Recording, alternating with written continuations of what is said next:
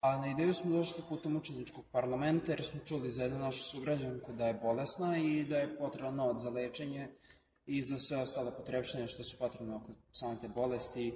Pa smo mi odlučili da organizujemo neki humanitarni turnir, da spojimo sport i humanost. Mislim da je to super način da pomognemo nekom i da brinemo našem zdravlju.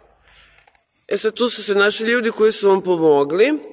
Ko su ti ljudi? Ajde da ih pomenem. Pa, pre svega pomogli su nam pedagog, direktor i psiholog naše škole. E, Žuti market je takođe pomogao tako što nam je dao neke od potrebnih namernica za naše igrače.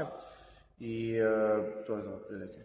Vi ste e, negde napomenuli da vam ovo neće biti prva i poslednja akcija koju ste organizovali. Organizovat ćemo još brdo akcija. Mi smo sad završna godina i planiramo da izađemo sa lepim Spartakom i organizovat ćemo još turnira, odbojka, ženska odbojka, futbal, neke humanitarne akcije i brdo tako nekih humanih stvari. Vi imate pored sebe jednu devojčicu koja trenutno nije ovdje, je li tako? Tako je, da, ona je nažalost bolesna, ali to je Andreja Dobrijević, ona je isto nama pomogla, naravno, trudila se koliko i mi, uloženo je dosta truda i vremena ovo i nadamo se da će sve proći kako treba.